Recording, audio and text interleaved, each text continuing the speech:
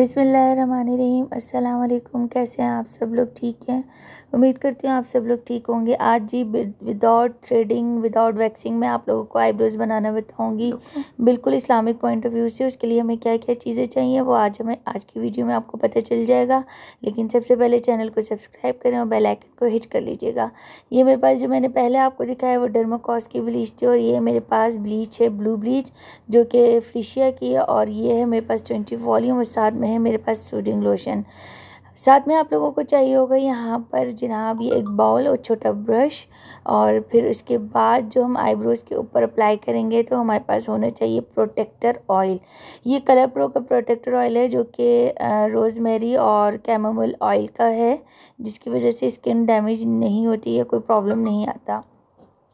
Eyebrows आपने before देख लिए हैं, सबसे पहले आपने क्या करना है तकरीबन हाफ़ टी स्पून आपने ब्लू ब्लीच पाउडर लेना है। अच्छा ये याद रहे कि ये वही ब्लू ब्लीच पाउडर है जिससे मैं हेयर डाई करती हूँ। उसी से मैं ब्लीच को डाई सॉरी आईब्रोज़ को ब्लीच करूँगी डाई करूँगी, ठीक है?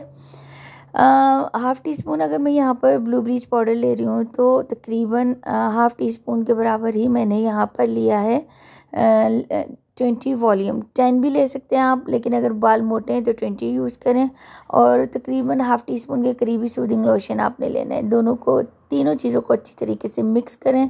अगर स्किन बहुत ज़्यादा सेंसिटिव है तो यहाँ पर प्रोटेक्टर ऑयल के दो ड्रॉप्स भी डाल सकते हैं।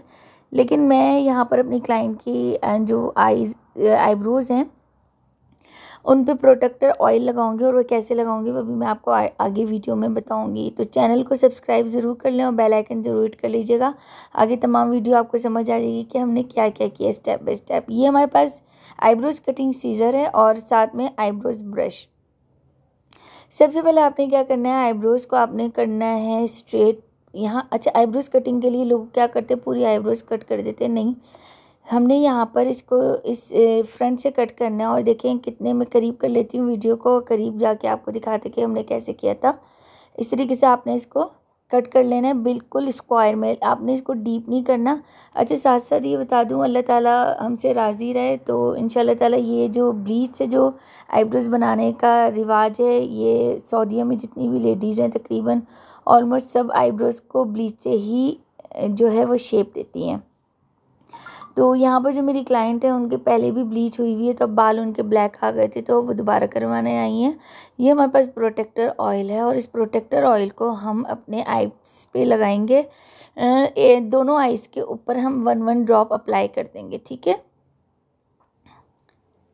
वीडियो तो भाई आप लोगों को गौर से देखनी पड़ती है। अगर आप एंड तक वीडियो नहीं देखेंगे तो कैसे समझ में आएगा कि हमने कैसे शेपिंग की शेप की है और कैसे हमने इसको किया और रिज़ल्ट कैसा आया? है रिज़ल्ट तो वैसे मैंने आप लोगों को स्टार्टिंग में दिखा दिया था और वो भी इसलिए दिखाया था ताकि आप लोगों को पता रहे कि हमने कैसे करना है। आ, बहुत अच्छी रहती हैं आईब्रोज इस तरह जो लोग बिल्कुल हाँ हमारे सैलून में आईब्रोज थ्रेडिंग, थ्रेड से भी बनती हैं, वैक्स से भी करते हैं हम लोग और हम ब्लीच से भी करते हैं। ज़्यादातर मैं अपने क्लाइंट्स को यही रेफ़र करती हूँ कि भाई आप ब्लीच से शेप करा लें, क्योंकि आपको पता है कि बाल जो है आईब्रोज बनाना ठीक नहीं है। आप सबको पता है आईब्रोज बनाना का हुक्म कुरान में किस तरीके से नोचने और नचवाने वाली दोनों पे किस तरीके से मलामत और लानत दी गई है। तो इस वजह से हम ज़्यादातर मैं अपने क्लाइंट्स को जो है मैं तो खुद वैसे आईब्रोज़ नहीं बनाती किसी की भी। अगर बना, बनवाना भी हो, अगर कोई अपने उससे बना रहा हो तो वो ख़ुद से अपने चाहत से बनाता है। वरना पर्सनली मैं अपनी आईब्रोज़ भी ब्लीच से ही शेप करती हूँ। और ये मेरी जो क्लाइंट हैं, ये रेगुलरली ब्लीच से ही शेप करवाती हैं मैं इनको ब्लीच से ही करती हूँ। और बहुत सारे क्लाइंट्स हैं, जिनको हम अपने ब्लीच से ही उनको बोलते हैं कि भाई आप शेप करवा लें। और बिल्कुल रियल लगती है, पता ही नहीं चलता कि आपने आईब्रोज़ थ्रेड से करवाई हैं या वैक्स से करवाई हैं। तो भाई अपने बच्चों को, जो छोटी बच्ची हैं, उनको भी यही दें। आजकल आप लोगों को पता है आधे आधे से ज़्यादा औरतों को हाफ़ सर का पेन रहता है और वो सिर्फ़ इसीलिए रहता है क्योंकि जब वो आईब्रोज़ बनवाती हैं तो आईब्रोज़ के साथ जब हम बाल खींचते हैं तो उनकी जो शरियाने हैं, वो भी खिंच रही होती हैं और इसकी वजह से हाफ़ आधे सर का दर्द रहता है। भाई ये मेरी अपनी राय बाकी आप सबकी अपनी अपनी राय। अच्छा दस मिनट तकरीबन मैंने लगा रहने दिया, उसके बाद हम इसको एक वाइप लेके और हमने देखे आईब्रोज़ को नीट किया। कितनी अच्छी शेप आ गई है, जो बाल एक्स्ट्रा थे, वो हो गए हैं गोल्डन।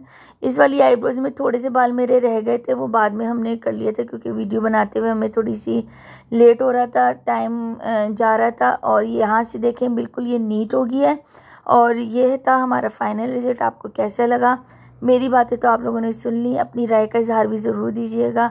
वीडियो को लाइक, शेयर, कमेंट ज़रूर कीजिए और इस वीडियो को शेयर कीजिएगा। थैंक यू सो मच, मिलती हूँ फिर, अल्लाह हाफिज़।